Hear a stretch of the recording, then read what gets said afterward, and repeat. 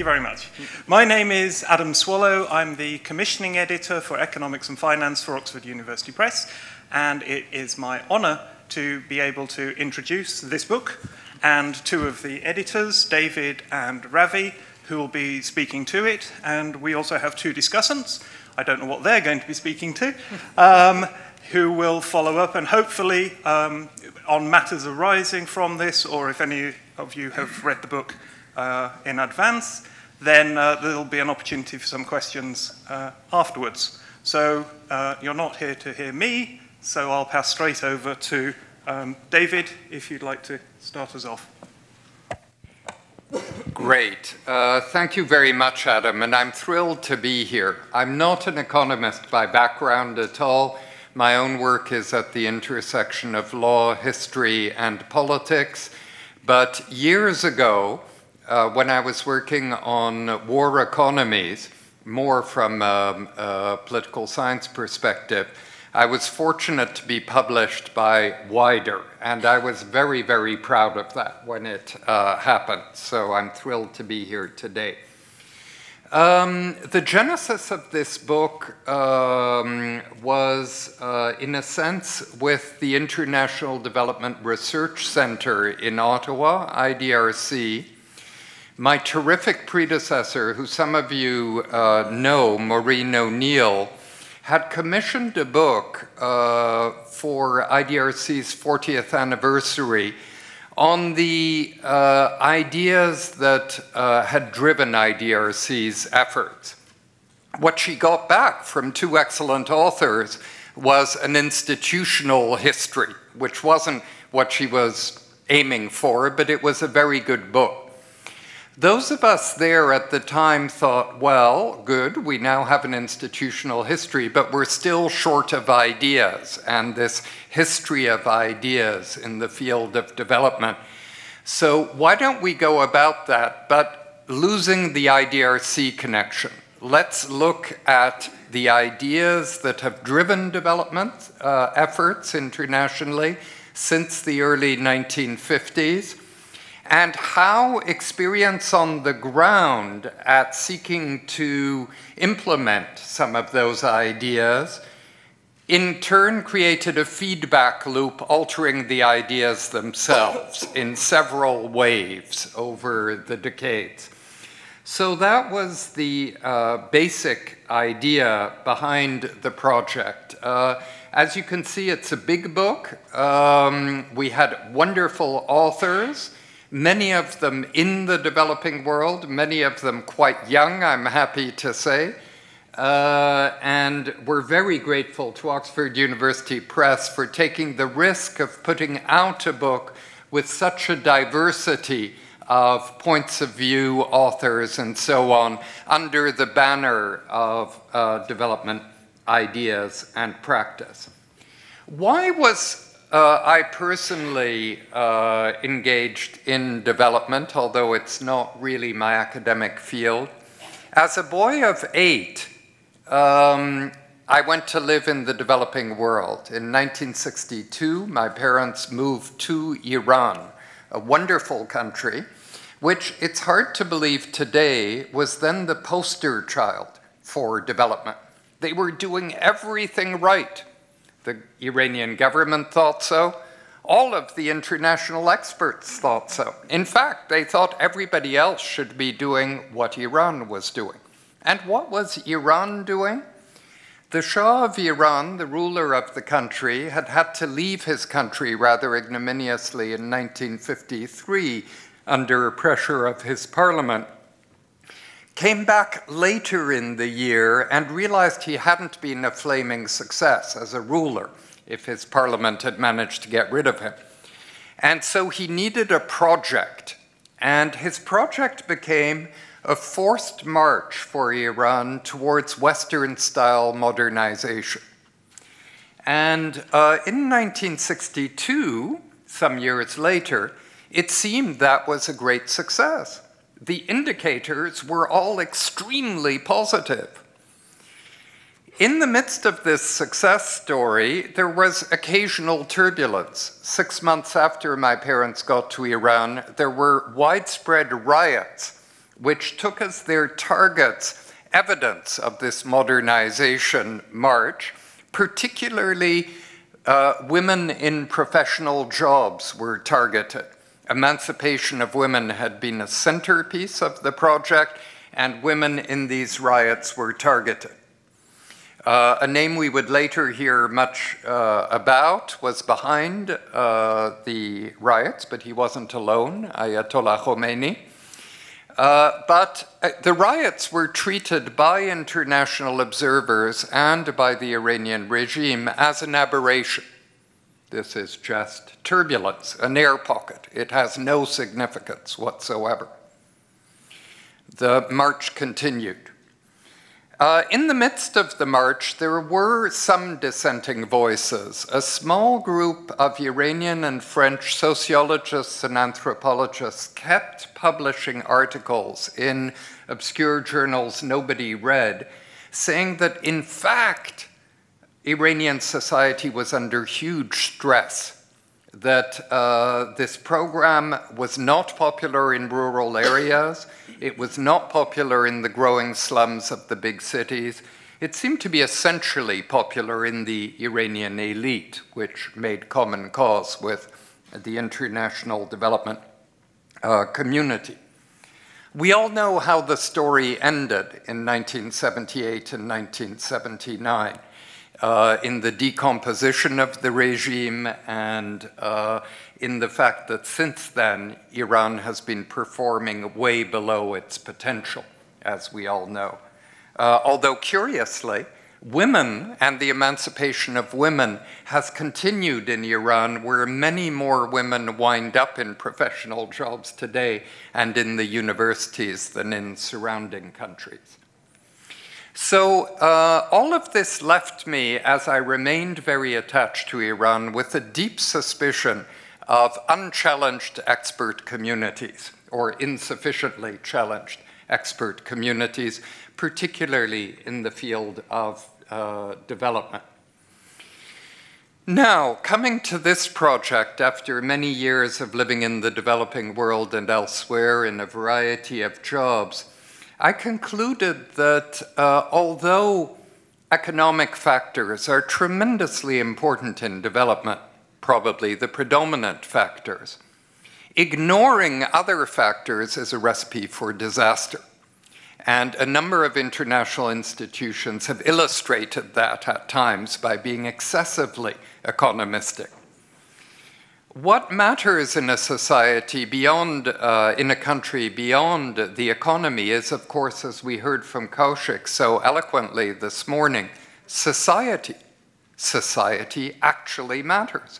Social preferences, which vary from country to country, which vary within countries, matter tremendously. And unless we accept that and recognize that, our analysis is going to be narrowly gauged and often wildly misleading, as we've learned over the last 60 years. So, those were some of the ideas inspiring me as I came into this project, but we were extremely fortunate that somebody much more knowledgeable than me uh, came along to join my two co editors, Bruce Currie-Alder and Rohinton Medhora, Rohinton, an economist, and that person was Ravi. So, Ravi, over to you. Thank you. Thank you very much indeed, uh, David. We want to leave time for our, for our discussants, really, uh, uh, to raise issues and have group discussions. So I'll, I'll be qu uh, quite brief. Basically, the charge that we gave to our authors, very distinguished authors, and there are 52 chapters, I believe, in the, in the book, covering a very broad range of issues uh, uh, in development, uh, sectoral issues, uh, broad economic policy issues, uh, country-specific perspectives, and so on. The charge we gave to the authors was actually to answer three questions. Firstly, what have been the major changes in thinking in your specific area? Uh, whether it's uh, agriculture, whether it's nutrition, whether it's health, whether it's this, whether it's that. What have been the major changes in thinking in your area over the last 50, 60 years? Secondly, what explains this change in thinking?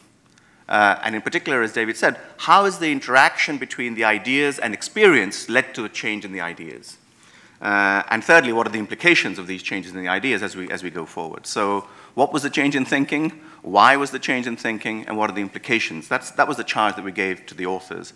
And of course, it's impossible for, us, for me, for us to summarize what they, what they came up with.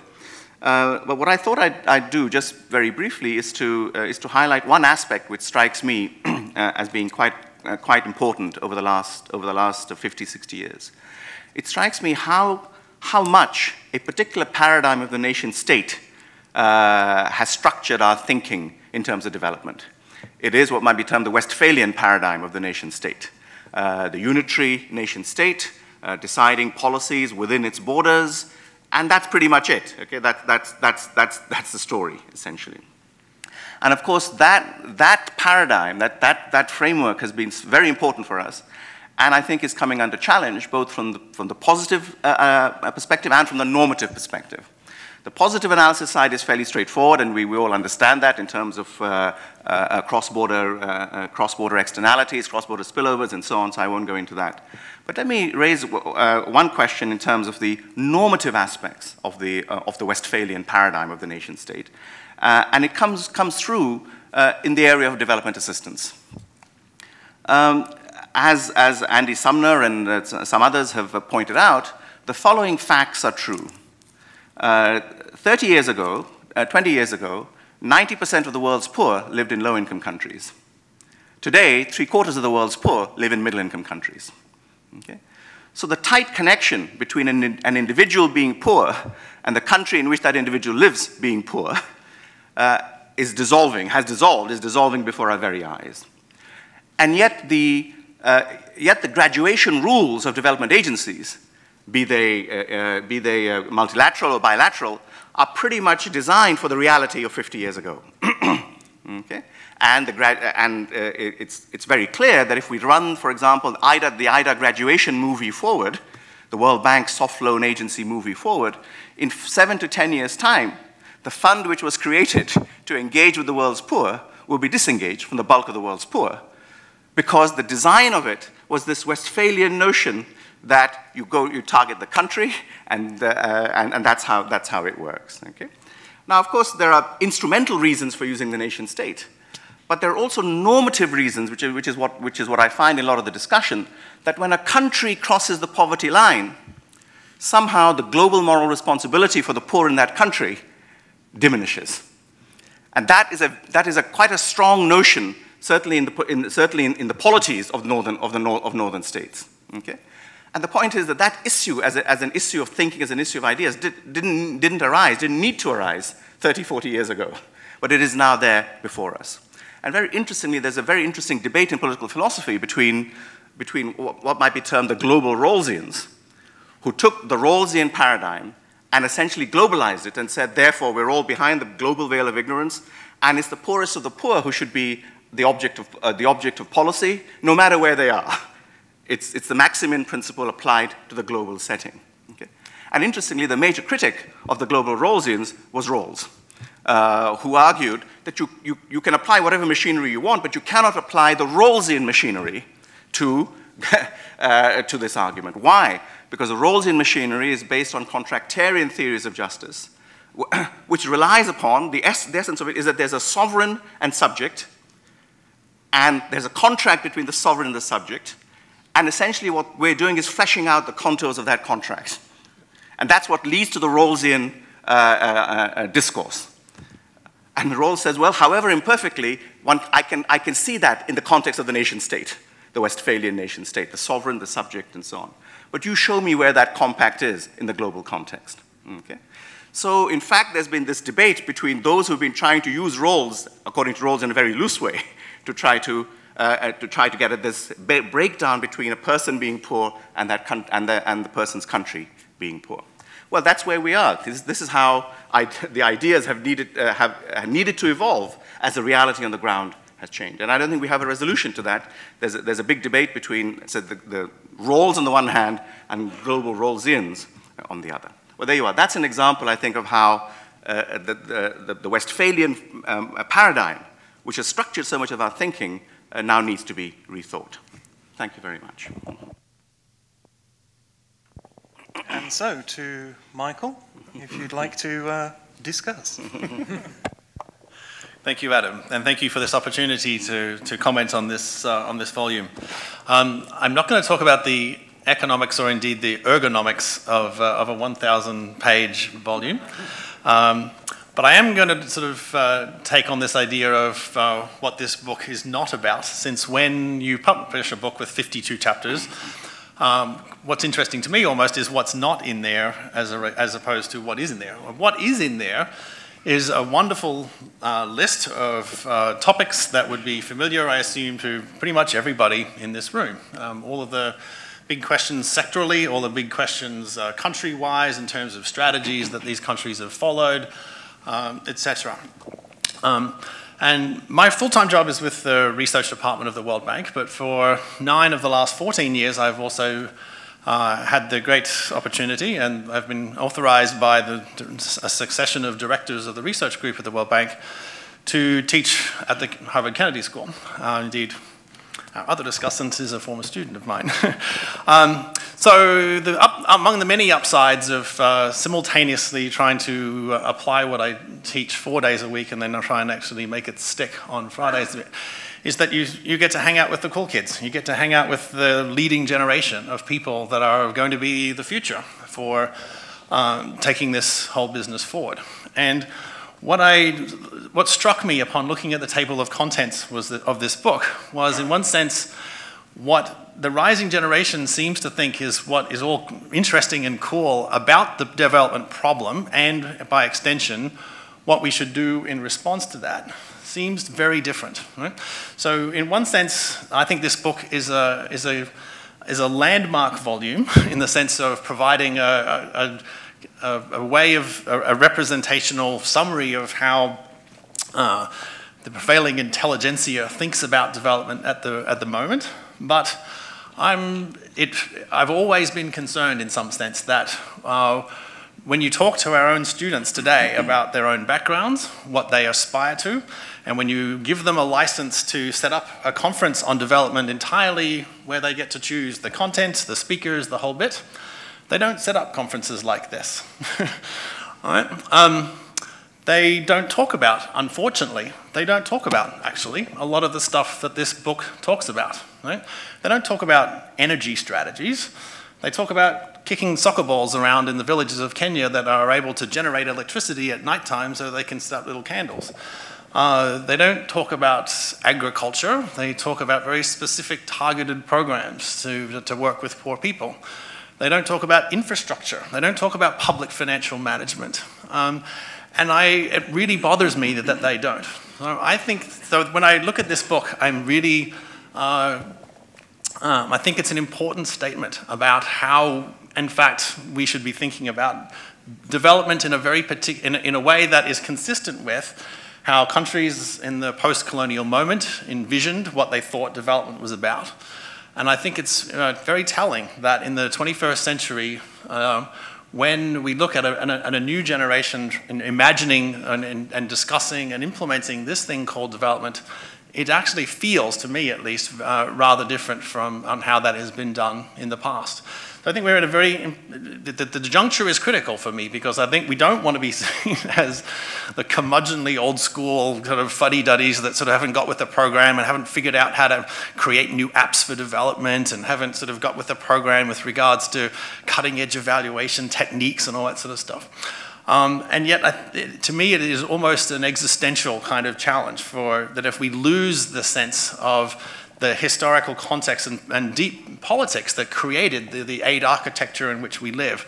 If we don't have the capacity to help our students think through the kinds of philosophical issues that Ravi just articulated, if we don't have a sense that countries like Iran back in 1962 were the jewel in the crown and kind of now they're not, right?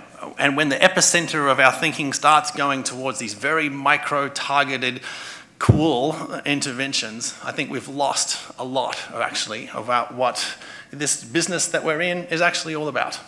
So I love this volume just because it really tries to lay down, I think, a really comprehensive statement about what big development questions are about. It's about agriculture, it's about infrastructure, it's about jobs in a, in a big sense of what we can get states to implement. And I worry that we're losing that. Um, so how we reconcile all of these things, to me, uh, seems to be the big thing going forward. Take a look at the chapter on evaluation for that, right? You talk to my Kennedy School students now about what a, what a, what a course on program evaluation should be about. When I took that class as a, as a student at, the, at Harvard 20 years ago, it was all about trying to assess the impacts of subsidies and uh, the way in which whether we should be uh, what sort of balances on controls we should have in order to be able to maximize the net present value. What do the cool kids think they're taking a class on now when they take something called program evaluation? How to do an RCT, right? The beauty of this chapter on program evaluation is that it rightly doesn't dismiss any of that. It just says RCTs are one tool among many. uh, there's a whole bunch of other issues that we have to wrestle with when we're trying to make or defend claims about the effectiveness of entire ministerial portfolios, about organizations that we work for. All of these are evaluation challenges.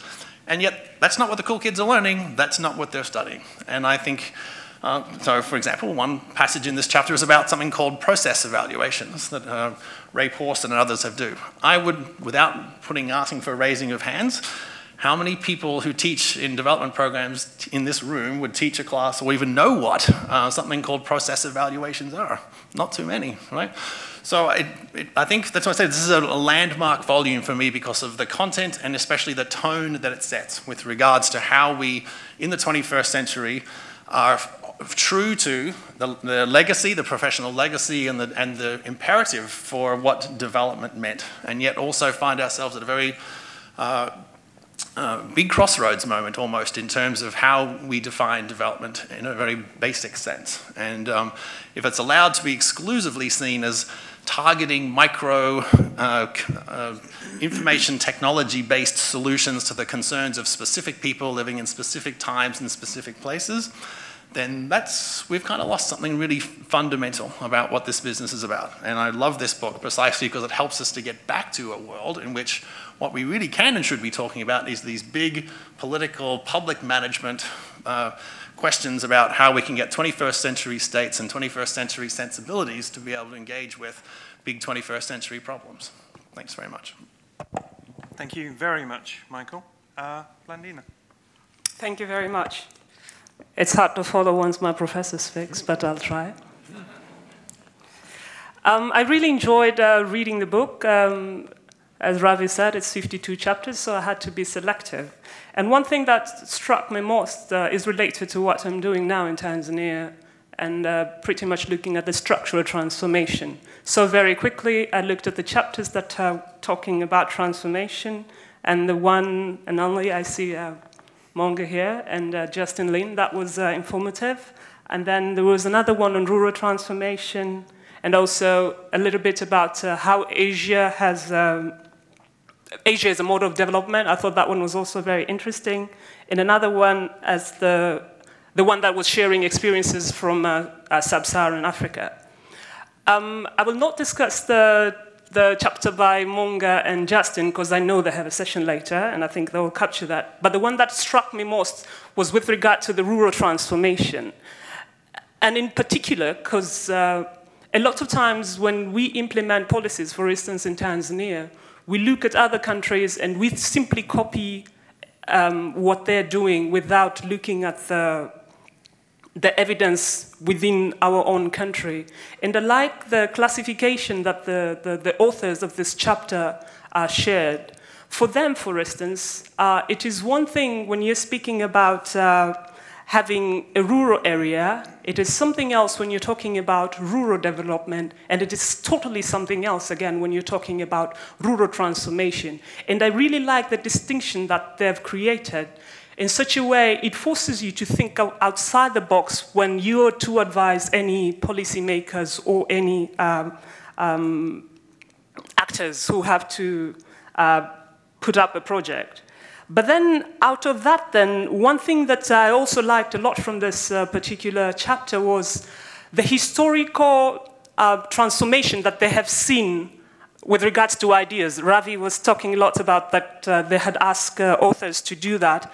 And you could see, like, uh, the three main things that they, they pick as the issues that are driving. Um, a rural transformation. The first one is with, with regards to diversification of rural economy. I really like the idea that a lot of times when we think of the rural people, we simply think they work in agriculture. But for them, they put everyone in a gradient in such a way you could be in Denmark, but still be in a rural setup. But then come again, as Michael was saying, how do you cater for those people? What you find is right now, a lot of people are being left out just because the normal classification that is existing is taking them out. Now, the other thing we talk about a lot, which they also touch about, is with regards to globalization of agri-foods and system.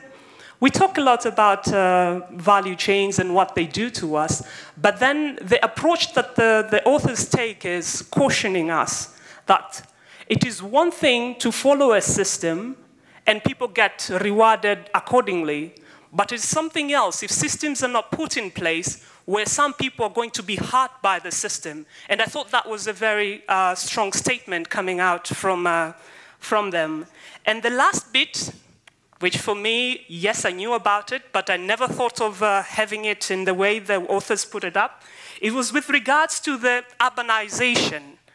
And for them, they grade urbanization not necessarily moving from a rural area to the big uh, cities, but rather going to the medium and smaller, uh, smaller cities. And for them, they call, if the word can create environment whereby a lot of people can move to the small and medium cities, that will tend to include more people. But wanting to jump from rural areas straight to the urban areas, then we see lots of the problems that we are, uh, we are seeing in our countries.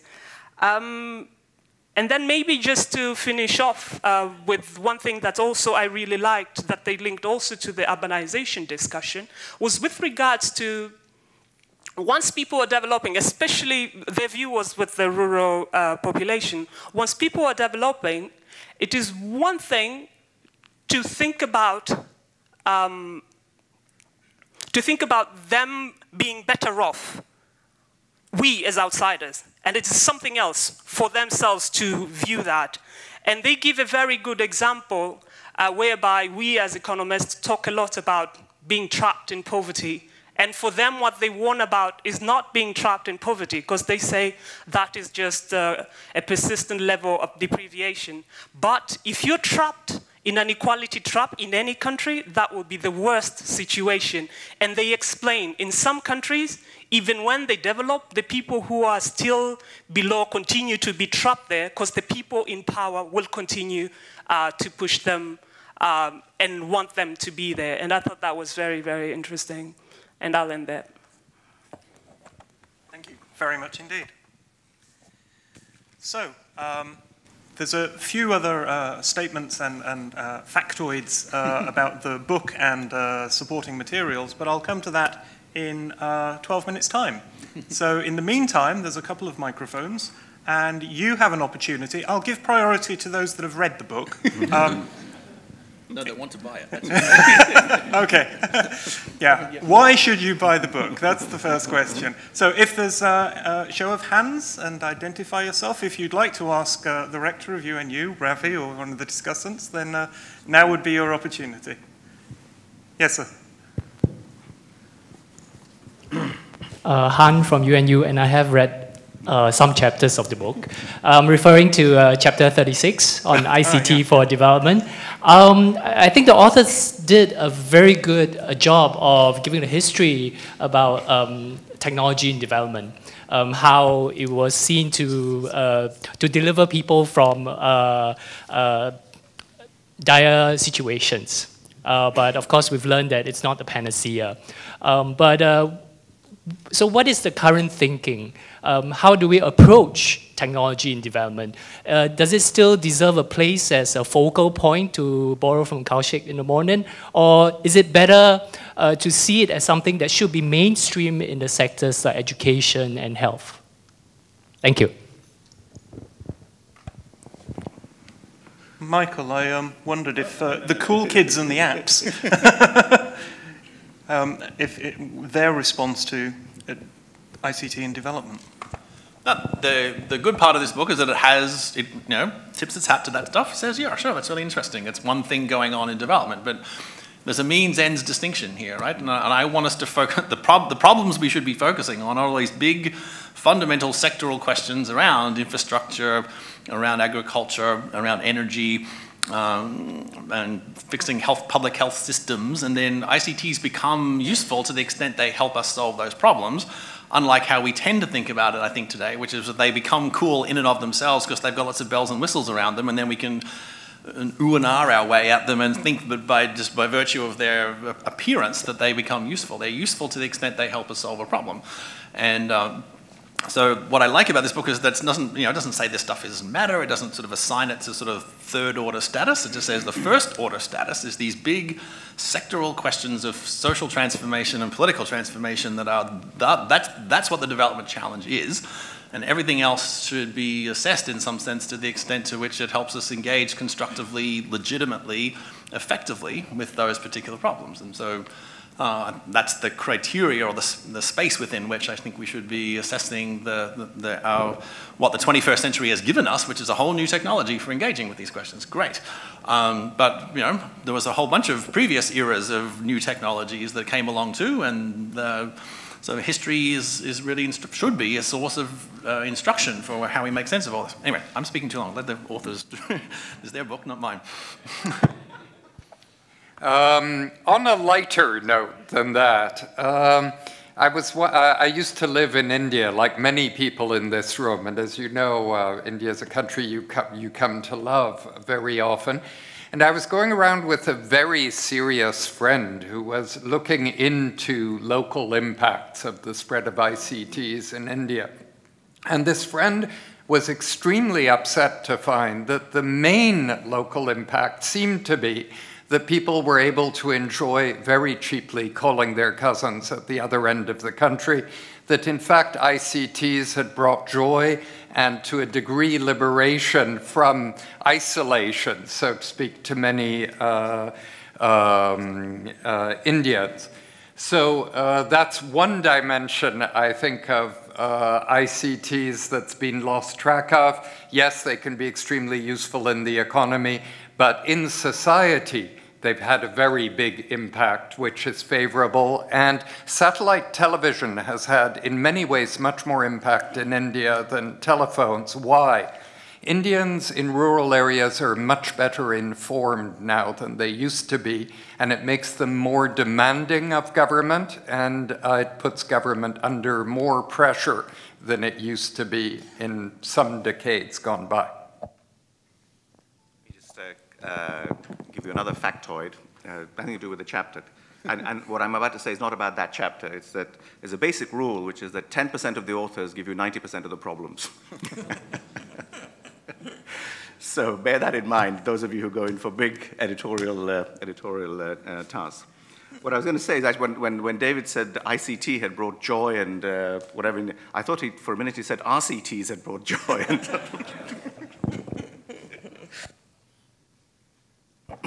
Anyone else? Yes, please. Hi, I'm Rachel Gisselquist from UNU Wider. Um, so this is, as, as Michael was saying, a hugely ambitious project, and it covers a wide variety of topics. And so I'm sure it always invites questions about what's missing. Um, so with apologies, I wanted to ask a question about about what's missing. Um, it struck me in looking, in reading uh, some of the, the book and in looking through the table of contents that there's, there's nothing on ethnic divisions and ethnic diversity um, and the relationship between ethnic divisions and development, uh, which of course has received quite a lot of popular attention and research attention, especially in political science, looking at, say, the relationship between ethnic divisions and public goods provision and ethnic divisions and slow growth in sub Saharan Africa. so, it's also a topic I think that resonates quite well with both of your, your comments about the, about the topic this morning or this afternoon. So I guess my question broadly is about how did you decide what topics made the cut and, and which topics don't, and, and why specifically this one didn't make the cut as a, as a chapter? Uh, great. Well, thanks so much for your comment. And you're right that uh, there's a great deal of literature about this in other places, but not so much in development. So it's a very good question you raise. When you take on a topic as broad as development ideas, you really have to pick and choose. And we had a lot of telephone conferences. Ravi will remember. The hardest part for us was first the table of contents, which we established at the outset before we even thought of authors. And then to try to find the best authors we could corresponding to uh, the topic. Uh, so that's how we proceeded. Uh, one or two topics dropped off the list, by the way. Not this one, I should add, it was never there, simply because um, we couldn't either find the right authors or the right people weren't available. But we did try to make sure that the principal topics were there. One other thing I'd like to mention as an editor, I don't know if Ravi would agree, he's edited many more books than I have, uh, is that peer review was very helpful to us. When we first took the outline of the book to OUP, of course, they sent it out to peer reviewers. Um, and the, the comments that came back from the peer reviewers actually profoundly influenced uh, the way we decided to go. The peer reviewers had their own blind spots because they didn't know a number of the people who we were hoping to involve because they were young and new and so on. But the depth of their advice uh, and the relevance of their advice to a volume of this sort, uh, I'm struck when I think back to the project how important it was to us. So for young authors inclined to be very, very impatient with the peer review process, as I have often been, it can be extremely uh, helpful. Some of the uh, country-specific uh, papers do address the thing when, when it's relevant in that, in that context. Uh, but I'm very sympathetic to the point that you raise in general. I mean, I think, particularly in light of the, the Westphalian points that I was making earlier, uh, and I've sort of spoken about this before, that in some sense, uh, one, can, one could view the African, project, the, the, the African post-colonial project as being one of trying to construct a Westphalian state from those straight lines on the maps that have been bequeathed to, uh, uh, bequeathed to Africa by the colonial powers and so on. So I'm, so I'm very sympathetic to what saying. And though some of those issues are indeed taken up in the individual country-specific uh, uh, point, but, but, I, but, I, but I'm very sympathetic to the point you raise.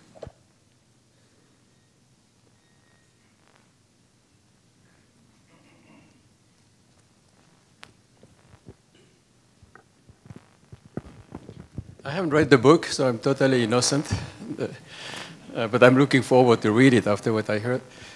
However, I'm a bit struck by the discussion that's sort of the us, us the book and them the non-book. Us, the big things, the big policy issues, first order of importance. Them, the cool things, the ICT, the RCTs, kind of the bottom up, etc. Right? I would hope that there is room for both. I would hope that the key is, is complementarity. I would hope that what has been achieved very importantly in the last years is precisely to kind of democratize development, to open opportunities. Students at the Kennedy School, students at Berkeley, students at J-PAL and whatever can have a chance to participate, to identify low-hanging fruits that can make a lot of difference, that can also be areas for learning, for demonstration, what can work, experimentation, failure, successes, right? So I think it's good to kind of re-elevate the game.